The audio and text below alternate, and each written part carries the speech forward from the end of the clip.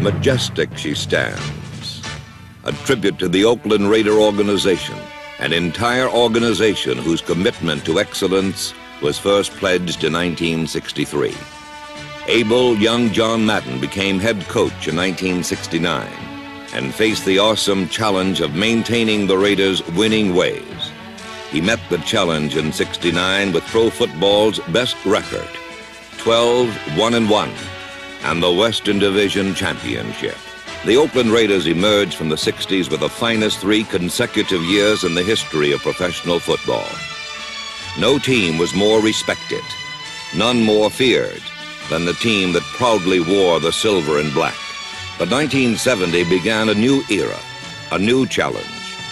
The question now, could the Raiders continue to rank with the great organizations of professional sports? Put off some brand new explosive talent. Number 87 is number one draft choice Raymond Chester, a tight end with more than a little determination.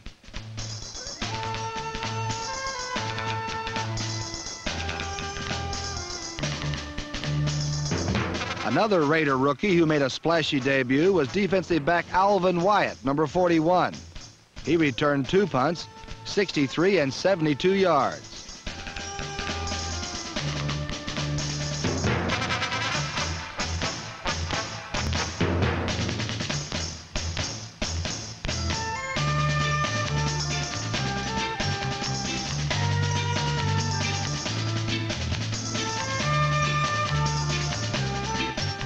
And then, of course, there was the old Raider strength, the passing combination of Daryle Lamonica to Fred Biletnikoff, which was good for two more touchdowns.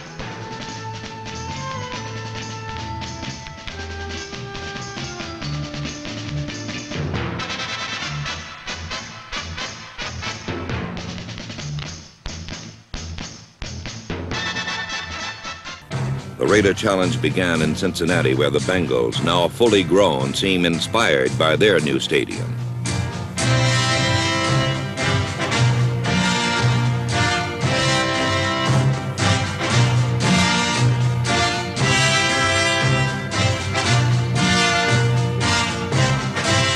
Not even the wizardry of Fred Biletnikoff could tame the Bengals as Oakland lost their first opening game since 1964. But in the furnace of defeat, a star was forged. A rugged, determined rookie from Morgan State, a tight end named Raymond Chester. In Meanwhile, in San Diego, Charger coach Charlie Waller wasn't thinking as much about Miami in January as he was how to handle this year's mystery team, the Oakland Raiders. With Player of the Year for 1969 quarterback Daryle Lamonica and a plethora of talent at every position, the Raiders lost four of their preseason games, then lost their opening game to Cincinnati. In the first quarter, the Raiders hardly resembled a team that had lost only four games in the past three years, as they executed several out-of-character maneuvers. The Chargers, who always play well against their Northern California rivals, took immediate advantage and began unloading on Oakland runners and receivers.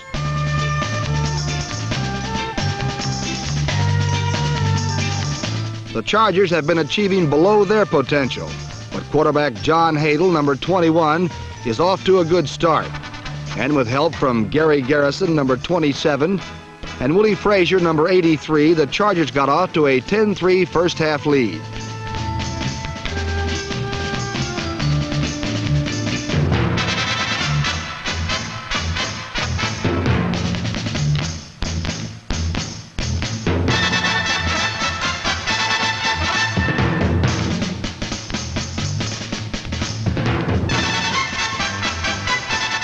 Following Garrison's touchdown, the only mystery surrounding the Raiders was how to stop them.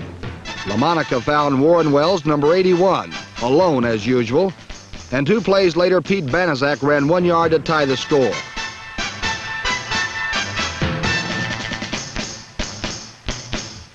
Two minutes and five seconds later, Lamonica passed to Fred Biletnikoff, number 25, for another touchdown.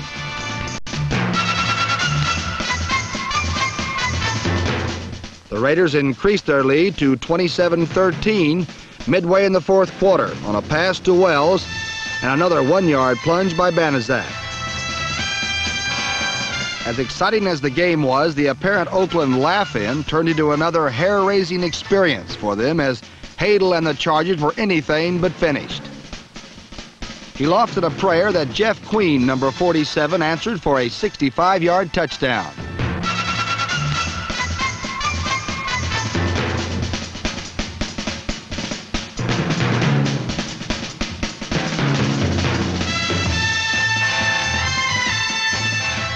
Then, with two minutes left, the incomparable Lance Alworth, number 19, shook loose, and Hadl was right on for a 37-yard touchdown that tied the game 27 all. Oakland had a chance to win with nine seconds left, but the field goal attempt was wide. So, with the season two weeks old, neither the Chargers nor the Raiders have won a game. And as a result, they share the cellar in the AFC West. But how long can that last? In San Diego, the Raiders appeared ready to rip off a victory. George Atkinson led the defense with two steals. And a powerful offense struck for 27 points.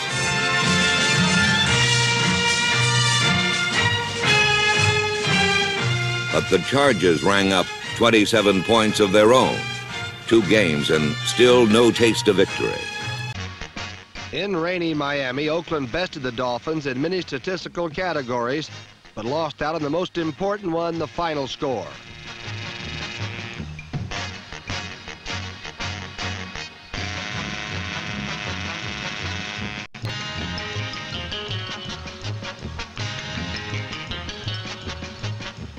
The exciting running of number 13, Rod Sherman, and the determination of number 81 Warren Wells were two of the few encouraging signs that showed up in Miami.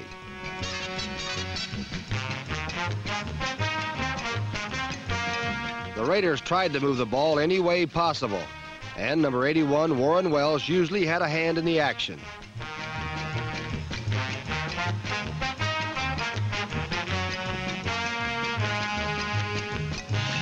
Wells attempted to reverse the Raiders' losing ways with a daring end-around play.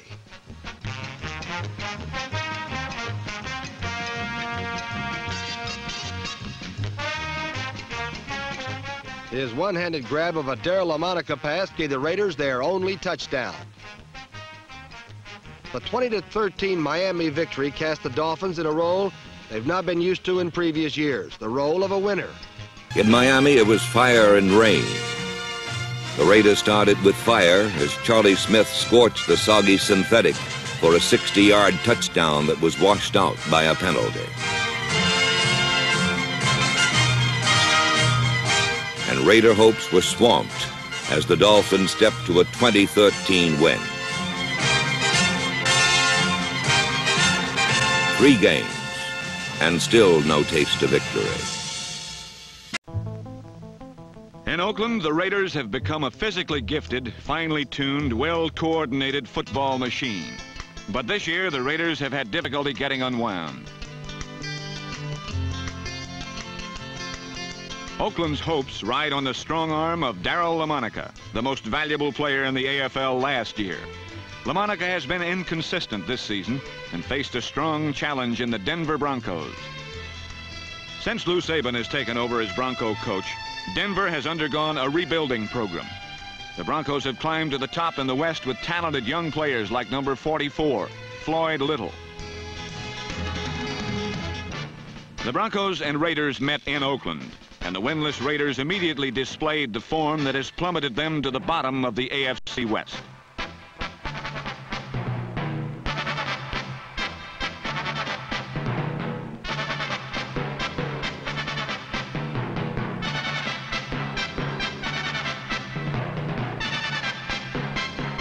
Against Denver, the Raiders again appeared to be plagued by the same jinx that has made Oakland coach John Madden the most unhappy man in the league.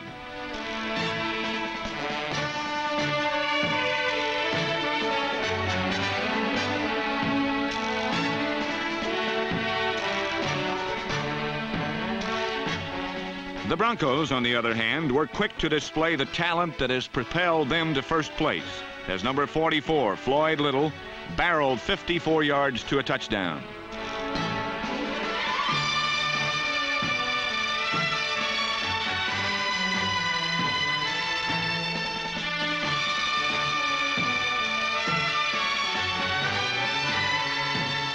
In the second quarter, Mike Haffner, number 84, hauled in a 28-yard shot from Pete Liske, and it appeared the Broncos were on their way to their fourth consecutive victory.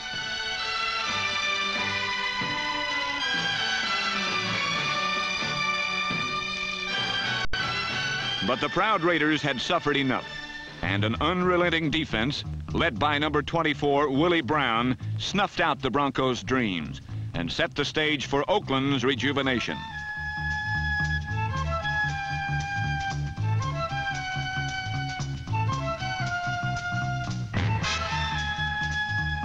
Daryle Lamonica, number three, shook off the losing ways and exploded for his greatest day as a professional. Lamonica completed 20 of 37 passes for 364 yards and four touchdowns. The first score went to rookie Raymond Chester, number 87.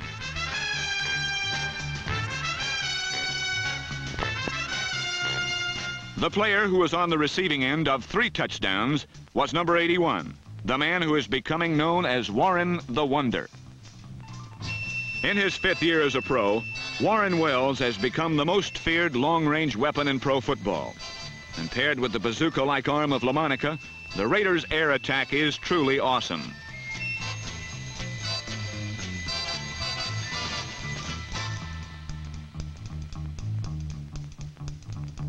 Lamonica is the Babe Ruth of pro football, and with Warren Wells as his partner, the Raiders can connect for the home run at any moment.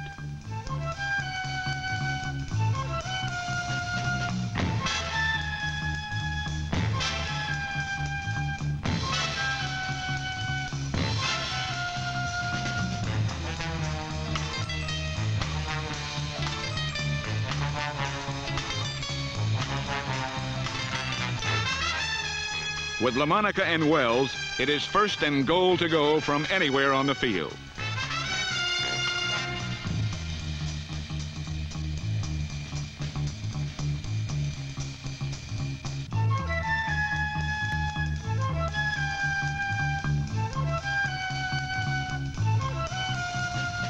The Broncos remained in the game with field goals, but a fourth quarter bomb to Wells broke Denver's back.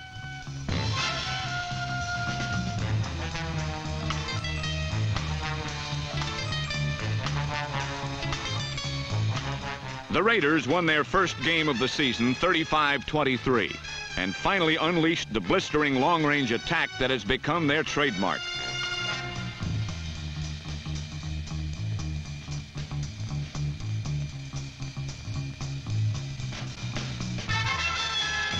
For the heartbroken Broncos and Coach Lou Saban, it was back to the practice field. And for John Madden's Oakland Raiders, it appeared that it won't be long before they are back to the top of the Western Division. The Raiders finally came home to meet undefeated division-leading Denver, and John Madden rallied his forces for a mission of destruction.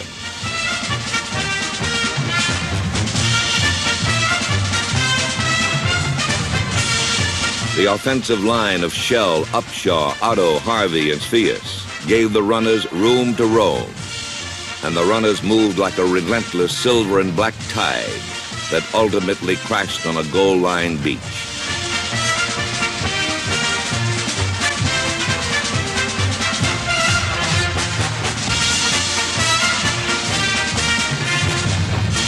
Then it was Daryle Lamonica unleashing the Raiders' famed precision passing.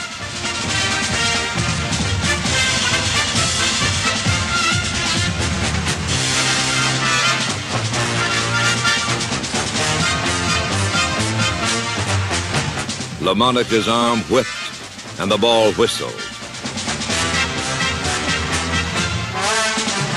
There was no derailing the Oakland Express this day as they roared by Denver 35 to 23. Victory had returned, and loyal Raider fans sighed with relief. But it was a Pyrrhic victory, as all-pro cornerback Willie Brown was lost with a shoulder injury on this interception.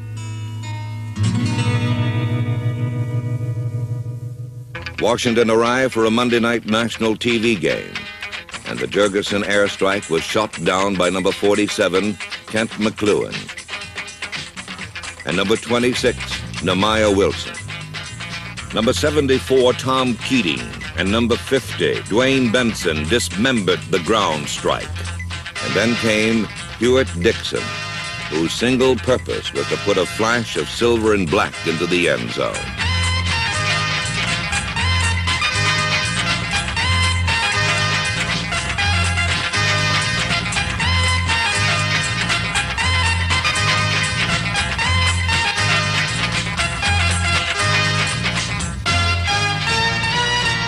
Behind the blocking of Jim Otto and Harry Schuh, Dixon was more than the Redskins could handle as he ran for 164 yards.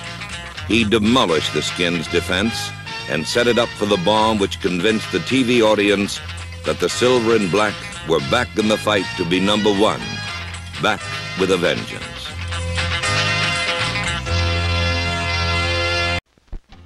In Oakland, the resurgent Raiders were looking for their third win in a row. Their opponents were the hapless Pittsburgh Steelers, led by number 12 Terry Bradshaw, who seems to be living in the eye of a hurricane.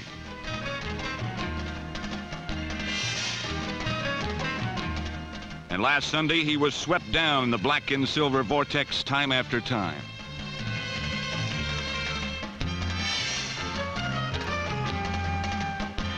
But the ever undaunted Bradshaw sprinted right and arced a skyrocket to number 33, John Fuqua, who galloped in for the score, which unfortunately for Pittsburgh was nullified by a penalty.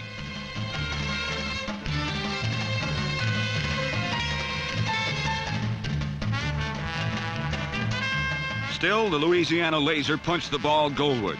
He hit Ron Shanklin near the end zone.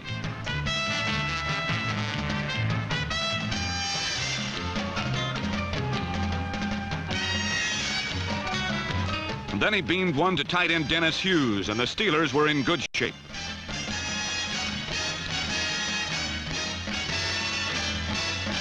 That is until Oakland unleashed their prize rookie tight end, Raymond Chester, number 87.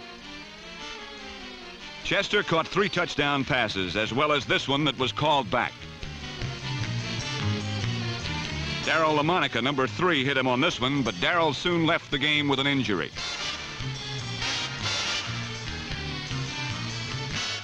Lamonica's backup, 43-year-old George Blanda, number 16, took over and kept the ball spinning toward Chester, who is 21 years George's junior. By now, the Steelers were only spectators at the Raymond Chester show, and they watched bedazzled as Oakland's third great strike from anywhere receiver cut a swath to the end zone where he was deservedly congratulated.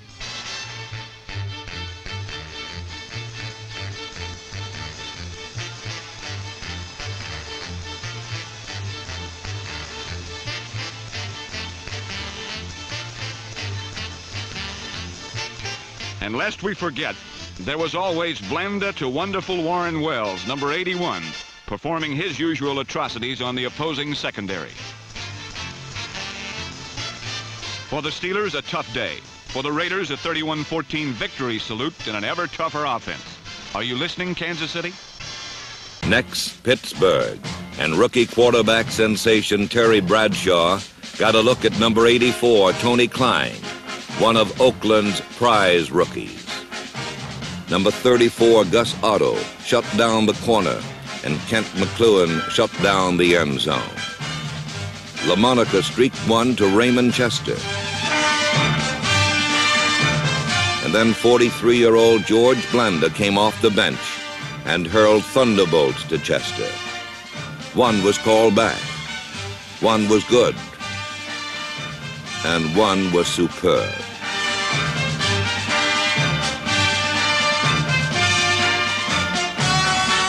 A veteran and a rookie had wreaked havoc, begun a phenomenon, and Oakland was battling toward first place in the West. The world champion Chiefs were next, and the Raiders offense earned an early lead.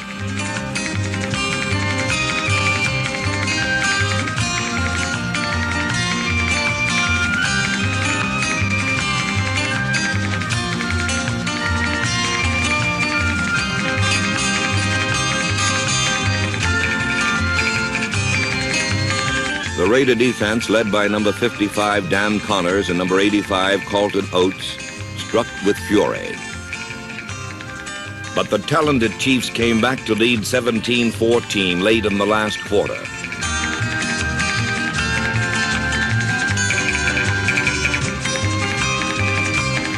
Then all that remained was part fantasy, part outrage, and totally incredible. Raider radio announcer Bill King described it this way. Here's the bootleg now by Dawson running to the right himself. He's got a first down. He's down to the 35, and he's brought down at the 28-yard line. Here's a flag, and here's Ben Davidson being uh, jumped on by one of the Chiefs. Two more Chiefs come in. There's a big pile up. Davidson and Taylor are going at it. There are at least eight Chiefs. Here come all the Raiders. Holy Toledo. It's a free-for-all. It's all along this near sideline here. Stram is out. He's getting Lenny Dawson out of there. He doesn't want Dawson to get killed. After the brawl was over, the defense had to stop the Chiefs, and they did. And the phenomenon got ready to strike again. So the Raiders have the ball with 46 seconds to go. Daryle goes back to pass. A big push coming. He stands up to it. He throws it out to Smith. He takes it at the 32 and dances out of bounds at the 34 as he started upfield behind Lynch. Double wing now. Back is Lamonica to pass. Hey, look. He throws one for Biletnikoff. A fine catch at the 50, and he's creamed at the 46-yard line of the Chiefs. And with eight seconds, George Blanda is handed the incredibly difficult job of about a 47 or 48-yard field goal. And here's your ball game. 17-14 Kansas City. Lamonica will spot at the 48. It's snapped. It's down. It's kicked. It is good. It's good. George Blanda has kicked a 48-yard field goal, and the scoreboard shows the Kansas City Chiefs 17 and the Oakland Raiders 17. Back home, the valiant Raiders met Cleveland for the first time ever and led early. But the Browns, a perennial NFL power, came roaring back.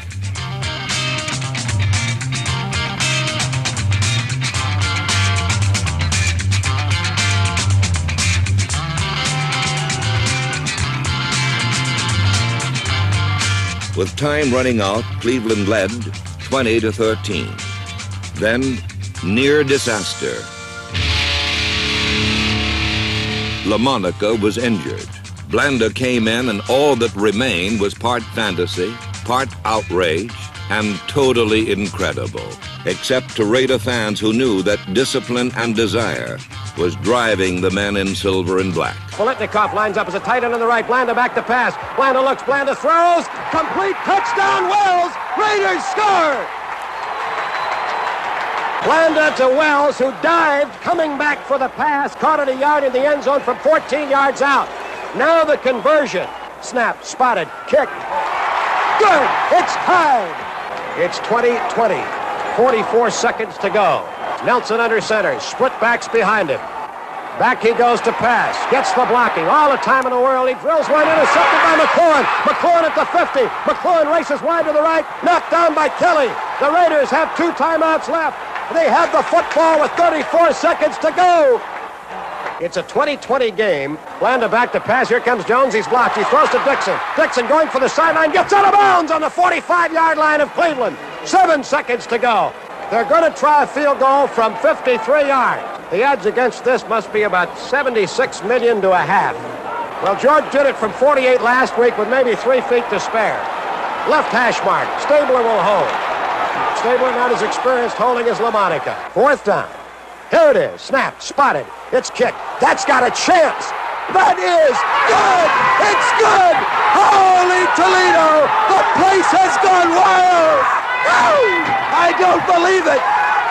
I don't believe it. The Oakland Raiders 23. The Cleveland Browns 20. George Blanda has just been elected king of the world. In Denver, the Broncos' survival test had already arrived. Lou Saban had to find a way to halt a three-game losing skid while stopping Oakland's pair extraordinaire.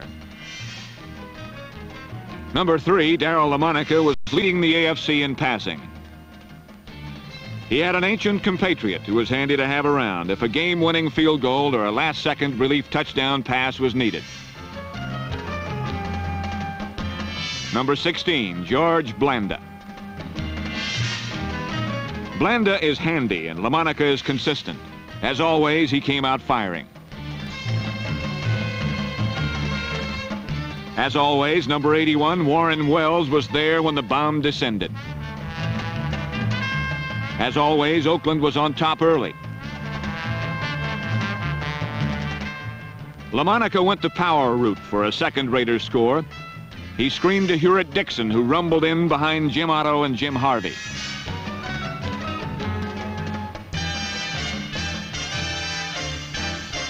Lou Saban could feel another uncomfortable Denver winter coming on as Oakland moved to a commanding 17-6 fourth quarter lead. Commanding, that is, until a pent-up Denver defense began finding Lamonica.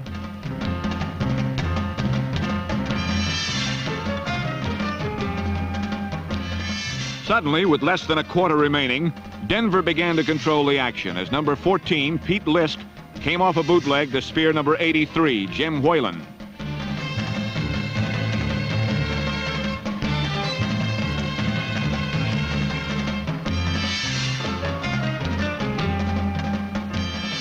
The pendulum of play had swung towards Denver, and a worried John Madden watched the Broncos take the ball away from his Raiders and roar upfield again.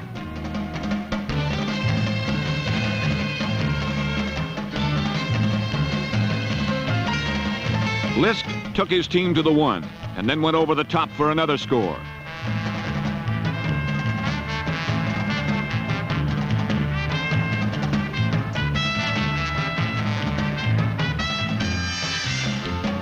The momentum-fired Broncos had forged a sudden 19-17 lead with only four minutes left to victory. Denver's long-suffering fans sensed sweet revenge. Oakland's old man sensed a challenge.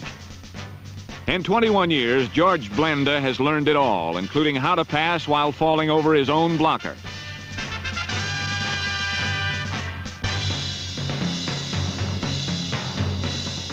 21 years has also taught Blanda to stand tall under pressure, like the pressure of a winning touchdown pass. Blanda and Fred Biletnikoff made it look easy. One minute and 30 seconds. Six passes and four completions. One touchdown and a 24-19 victory. All in a day's work for Oakland's old miracle man. While the Raiders remained in first place, the Broncos suffered from a record of 4 and 1 to one of 4 and 5, from first place in their division to last. The young Broncos had found that there are many lessons to learn on the road to a championship. In Denver, Oakland followed the script perfectly, taking a quick lead.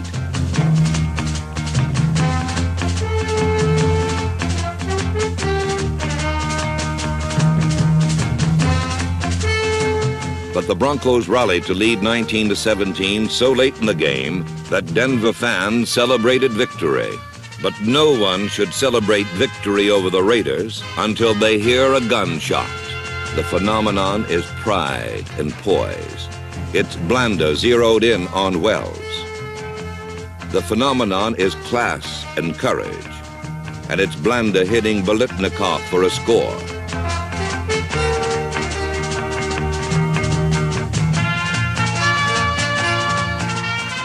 The phenomenon is discipline and desire. And it's number 20, Jimmy Warren, shutting off Denver's last hope with his second interception of the day. The phenomenon is an Oakland Raider victory under any pressure. San Diego charged into Oakland, intent on destroying the title dreams of the high-flying Raiders, leaders in the AFC West. Number 27, Gary Garrison, a smooth and exciting wide receiver has been one of the few consistent performers in a San Diego offense that has been off and on this year. Garrison's two touchdown receptions gave San Diego a 14-7 lead, and it appeared the Chargers' upset dream would become a reality. But the Oakland Raiders are a team known for their second half explosiveness, and they played true to form as the trend changed in favor of Oakland. A great catch by Biletnikoff that ended in a dual possession call against San Diego was just one of the frustrations the Chargers endured in the second half. The call set off one of the best performances seen in California since topless dancers arrived.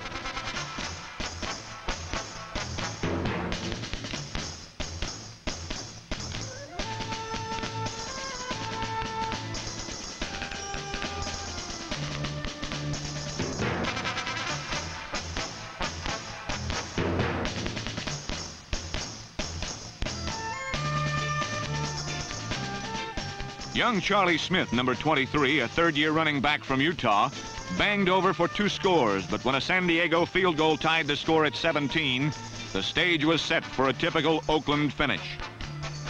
Number three, Daryle Lamonica, is one of the best quarterbacks in the game, but his talents have been overshadowed in recent weeks by a 43-year-old man who has become Oakland's star. Lamonica's run gave Oakland good field position with only seven seconds left in the game.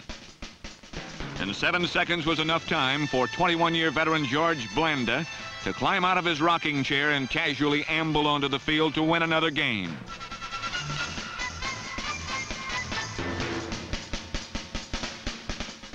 Blanda's 16-yard field goal not only won the game for Oakland 20 to 17, but it was the fifth time this season that the old man has rescued the Raiders from defeat. George Blanda says he will continue playing as long as he can walk to the bank. And for Oakland opponents, that could be a painfully long time. The Raiders came home without a defeat in their last seven games. But the Chargers went ahead as they put 17 points on the board. Oakland answered with catches by Biletnikoff that set up two Charlie Smith touchdowns and tied the score at 17.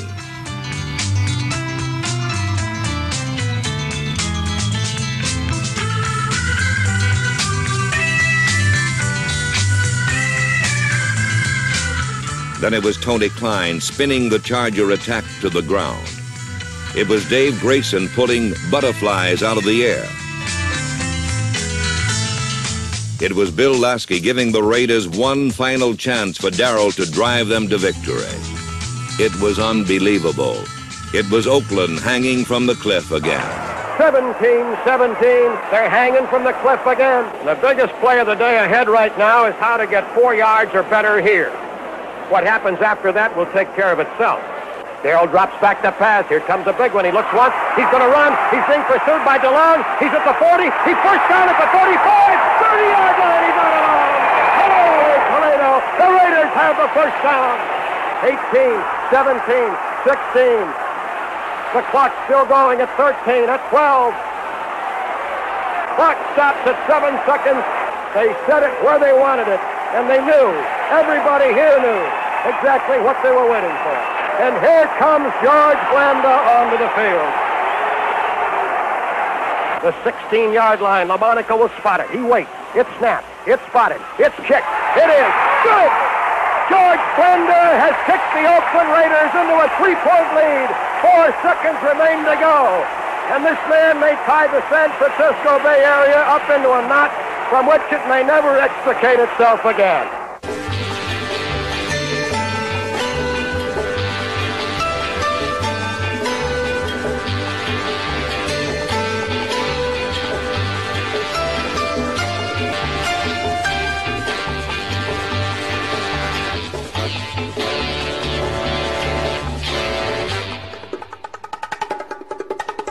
In Detroit on Thanksgiving Day, four days after the Charger game, Oakland lost a 14-point lead and the game as the playoff-bound Lions bellowed out in victory.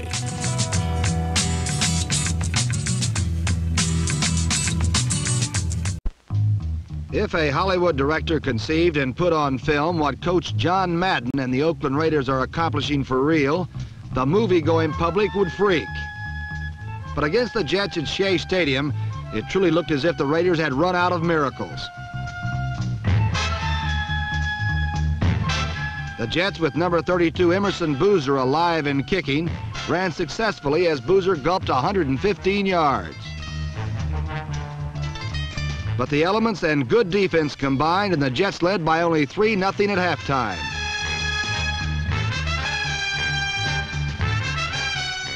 In the third quarter, New York's defense provided the spark.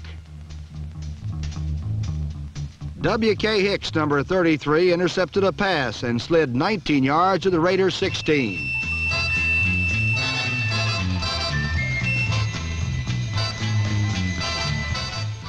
From there, Woodall threw a perfect pass to Pete Lammons, number 87, and the Jets led 10 to nothing.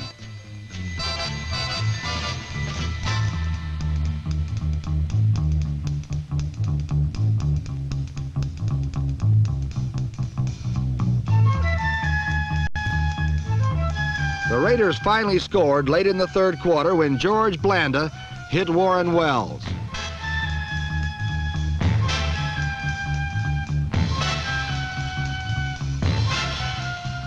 But the Jets seemed destined to win. Al Atkinson made the Jets' second interception. Jim Turner kicked a field goal, and the Jets had a seemingly comfortable lead, 13 to 7.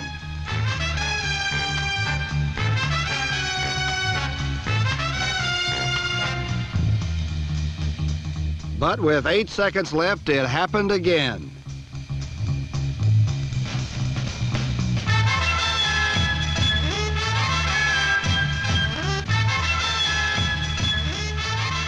Lamonica's desperation heave found Warren Wells in the end zone, and the Jets had been just another victim in a long line of Oakland miracle finishes.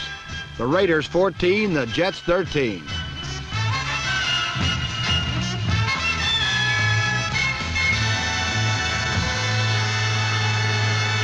In New York the following week, there was more trouble.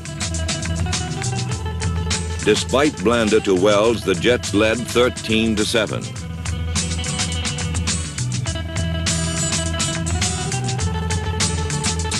Time was fleeting when a now healthy Willie Brown intercepted, and Oakland had only eight seconds and one chance to win.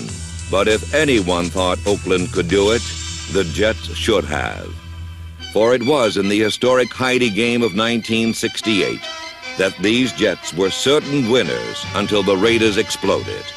In less than 20 seconds, Oakland scored twice and sealed the Jets' fate, a fate that in the 60s had doomed many opponents.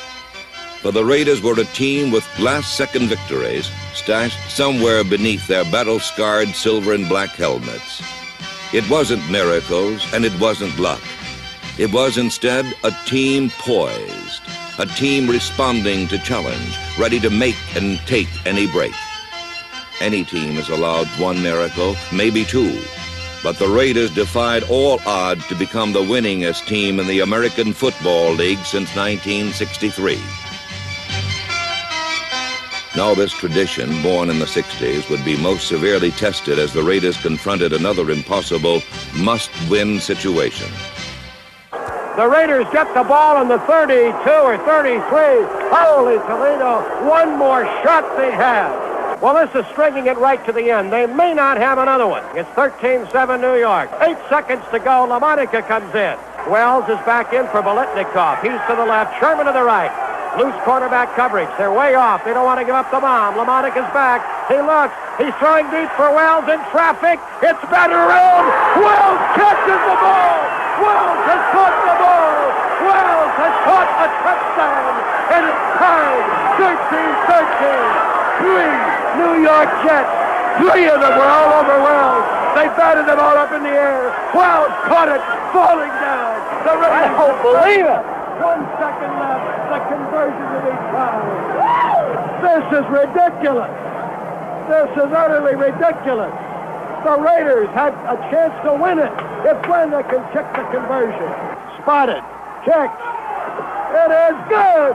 The game is over, and the Oakland Raiders have come out of nowhere, out of absolute, utter, and certain defeat to defeat the New York Jets, and the final scoreboard shows the Raiders 14, the Jets 13. This is the Oakland Alameda County Coliseum. But last week for the Chiefs and the Raiders, it was the OK Corral. It was where they met in the showdown to decide the AFC's Western champion. The highly touted Kansas City defense struck early. This interception by number 51 Jim Lynch led to a field goal by Jan Stenerud.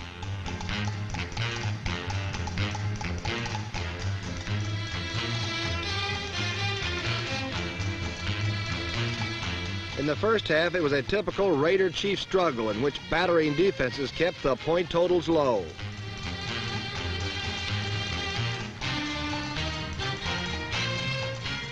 Quarterback Daryle Lamonica finally found the key in number 25 Fred Biletnikoff, who's going one-on-one -on -one against Kansas City's Jim Marsalis.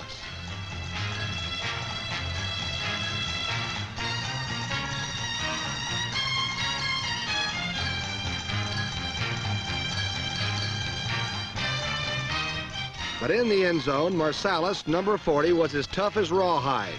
And the Raiders only led at the half on two George Blanda field goals, six to three.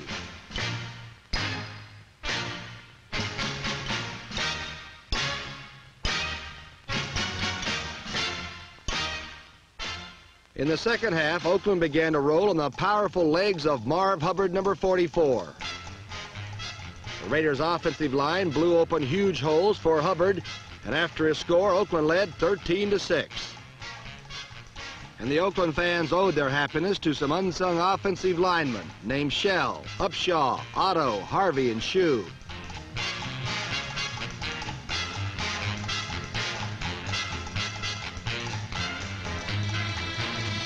And while the Oakland defense earned some plaudits also, the last cheers of the day were due Daryle Lamonica and Fred Biletnikoff. They finally managed to team up and beat Jim Marsalis for a touchdown.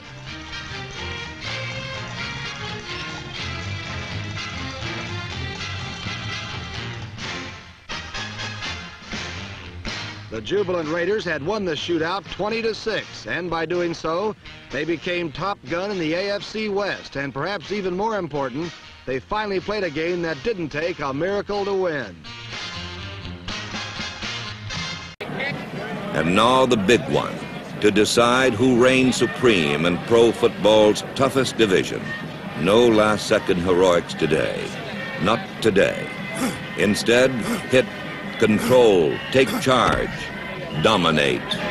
We can't make mistakes in this game. Let's go, boys. Let's go, man. The Raiders made no mistakes. Davidson, Oates, Keating, Cline, and Dotson did not make mistakes.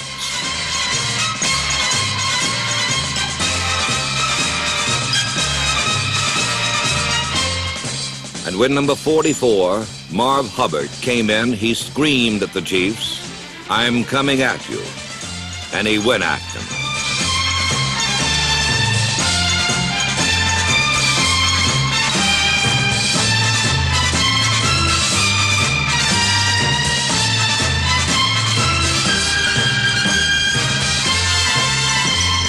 And when the Raiders brain trust talked, they spoke of going right over them.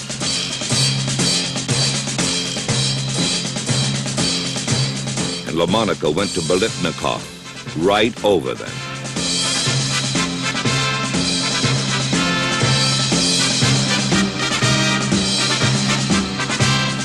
No miracles today, just mind and muscle, silver and black, and number one in the West for a record-breaking fourth straight championship.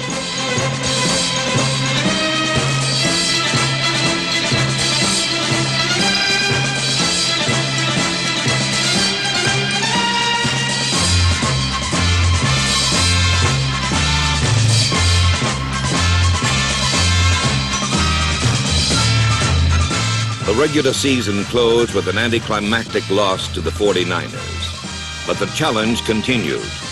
For now the Raiders, with amazing George Blanda as their most inspirational player, would host Miami in the playoffs. It looked as though Blanda might not be needed at all when Daryle Lamonica, number three, took after San Francisco in typical Raider style.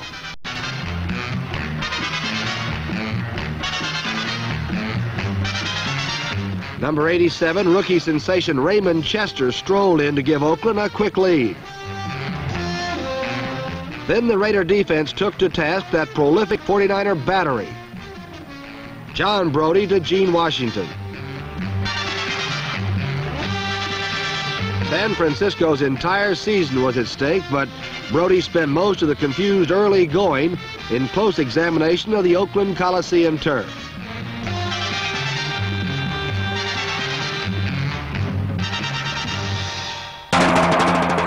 The AFC playoff looked like it would be played in dolphin weather. Before kickoff, the sun and the 18th straight sellout crowd filled the Coliseum. But the field hadn't dried, and the going was tough for both teams.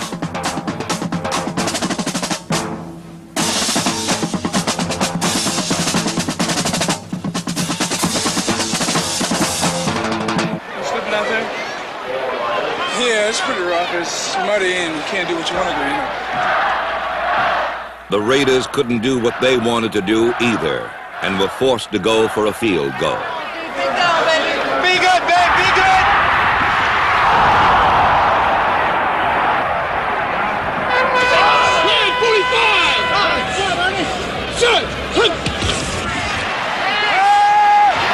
The Dolphins scored first and seven points could win in this mud. A determined defense dug in. That's all. Come on, Keaton, hit him. Close that hole, hit it hard! Make him fumble. Hit him. Hit him. Hit him.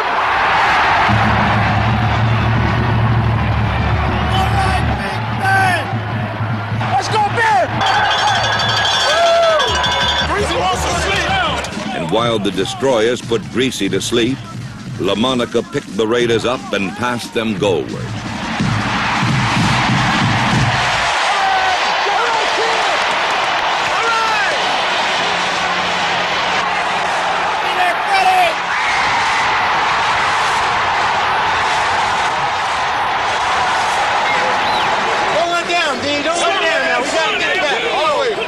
Seven to seven.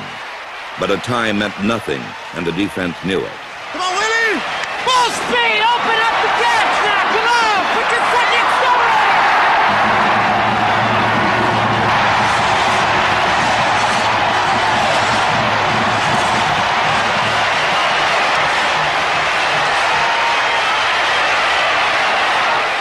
Was kept down in the mud, but the Raiders still needed more points. Big play. Big down. Come on, baby.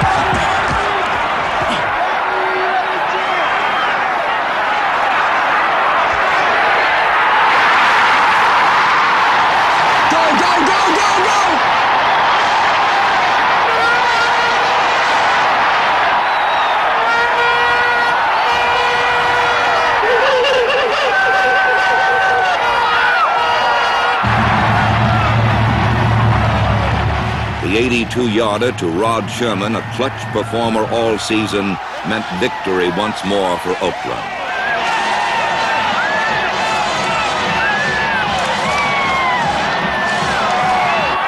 So it would be silver and black in Baltimore in the AFC Championship.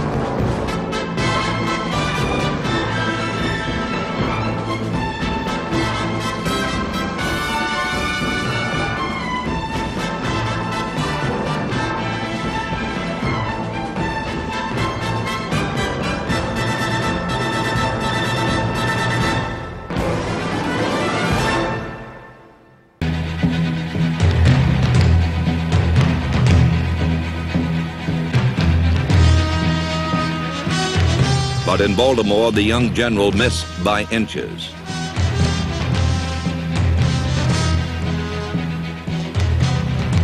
And then was missing from the game, leveled by a bulldozer named Bubba. The old general replaced him and the Raiders fought back. But in the end, it was John Unitas, NFL Player of the Decade, who hit for the big play.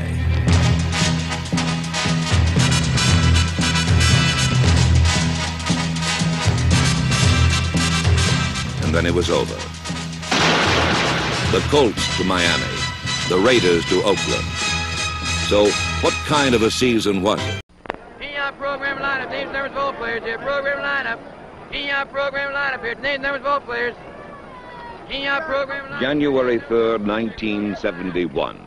A cool, clear, sparkling day at Baltimore's Memorial Stadium. The scene for a pro football game with a Super Bowl flavor. For this would be the first championship of the new American Football Conference. The first official meeting of the Baltimore Colts and the Oakland Raiders. Of rookie coach Don McCafferty and pro football's youngest coach John Madden. Of the old master John Unitas and conference leading Daryle Lamonica and the old man of the miracle, George Blanda. This would be a day for the young to appreciate their elders. A rare day for every pro football fan to savor to the full.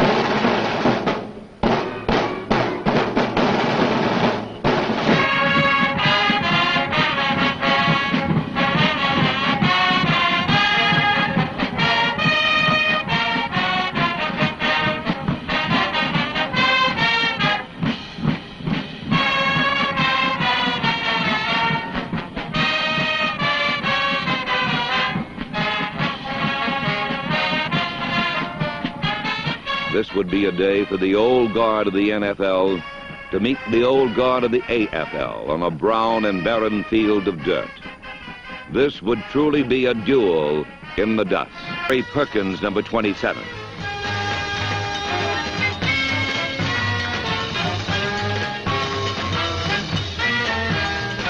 When things got tough, Unitas went after the first down on his own and got it. But when he had driven the Colts to the Oakland Four, the Raiders finally stopped Unitas and brought about a field goal attempt by young Jim O'Brien. He'll miss this one. He can't kick this ball. Dang, kid. Rookie. Come on, rookie. Rookie. Hey.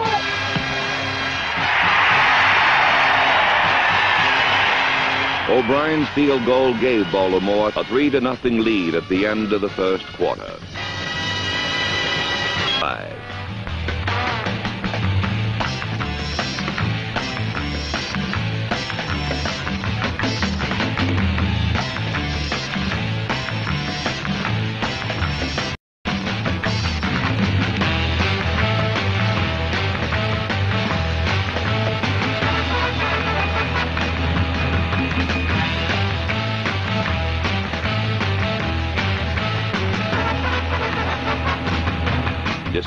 The effectiveness of the running attack, Lamonica turned to his favorite play, the bomb. A play which almost gave him the lead, but a play for which he soon paid the price.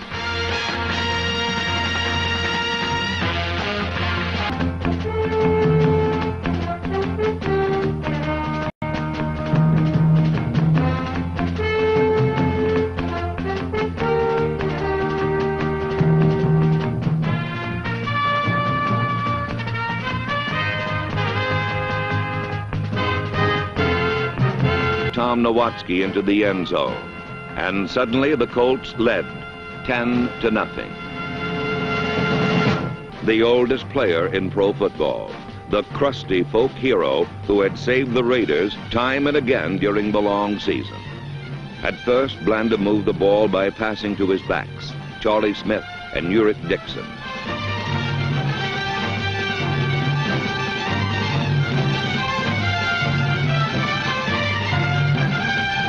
When he tried to throw to his tight end or his wide receivers, Blanda had no more success than Lamonica, and three of football's best receivers went the entire first half without a single completion among them, as Oakland recorded a paltry total of nine yards passing for the half.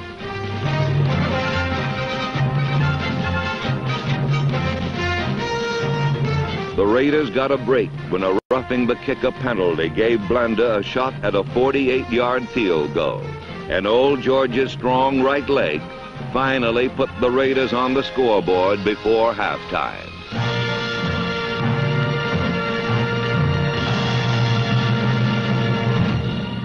Hey, baby! Come on, George, buddy, let's get him, baby.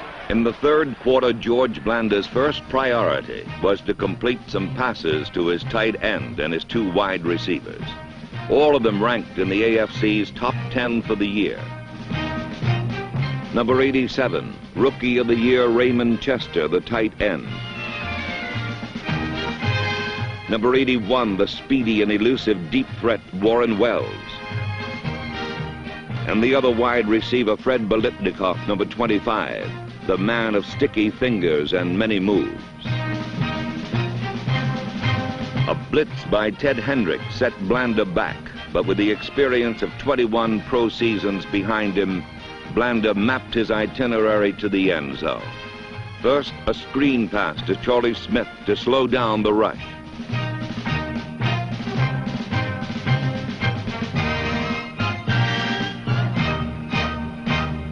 Next, on third and long, a crossing pattern to Warren Wells, who duped his way to a first down. Finally, a fake to the fullback, a clever move by Biletnikoff, a pressure throw by Blanda, and suddenly the game was even at 10 to 10. In reviewing the play, we can see that just before the catch, Colt cornerback Charlie Stukes fell down resulting in the easy touchdown for Biletnikoff. Behind great protection, Unitas again went for Hinton, who made another clutch catch for another first down. But for the third time in the game, an easy cold touchdown got away as a perfect pass dropped directly between the hands of Roy Jefferson. Jim O'Brien was again called in to salvage the drive.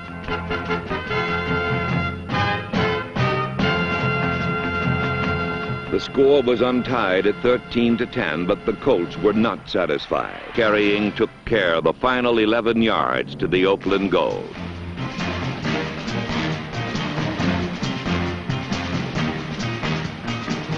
By 10 points, with only one quarter to play, George Blanda ran the Raiders into high gear.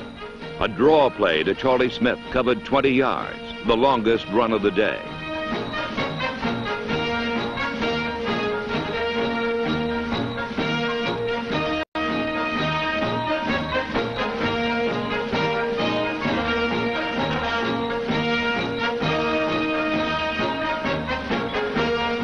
A fake to Smith, Blanda faded back and threw long for Warren Wells.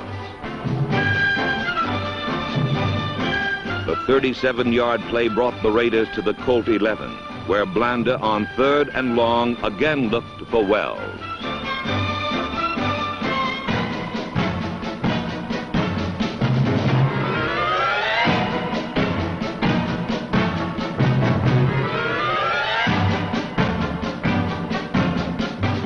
Despite the Colts' protestations, in checking the replay, we can see that Wells did have possession as he crossed the goal line.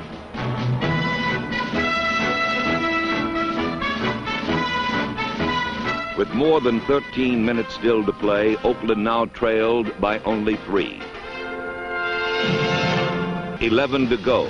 John Unitas came up with the play of the day for the Colts.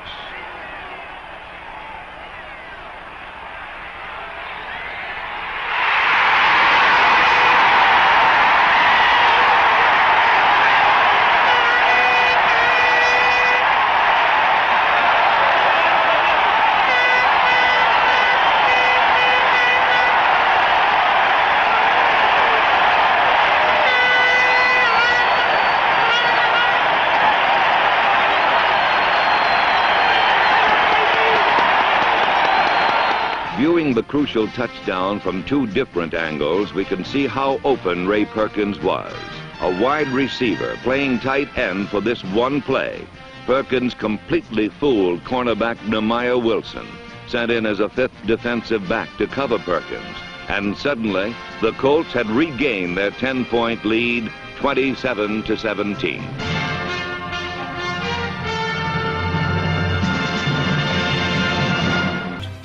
After 11 years of struggle and dedication, a day of defeat curtailed the destiny of the Oakland Raiders. But nothing could blot out another year of glory.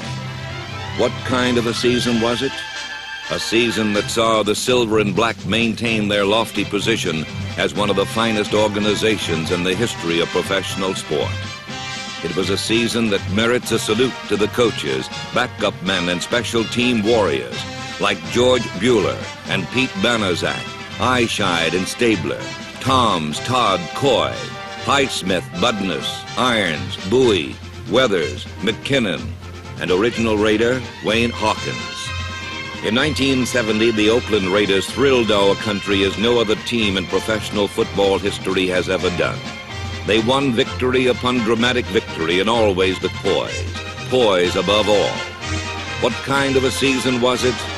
If a television scriptwriter or a hack pulp fiction writer tried to write the kind of finishes the Raiders have produced this year, they would send him to the loony bin before he ever got past the first proofreader.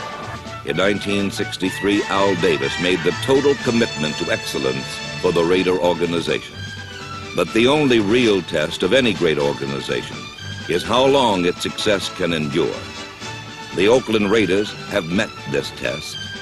People said it couldn't be done, say that it cannot continue. But this is the challenge, and the Oakland Raiders stand ready to meet the challenge of the 70s.